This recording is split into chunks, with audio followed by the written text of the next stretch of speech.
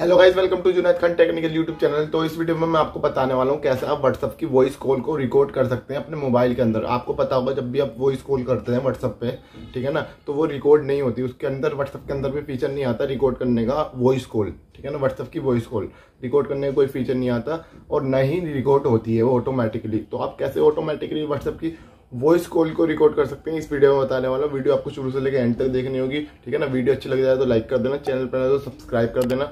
ठीक है ना? अब मैं आपको बताता हूँ कैसे आप व्हाट्सएप की वॉइस कॉल को रिकॉर्ड कर सकते हैं, ठीक है ना? व्हाट्सएप की वॉइस कॉल कैसे रिकॉर्ड कर सकते हैं?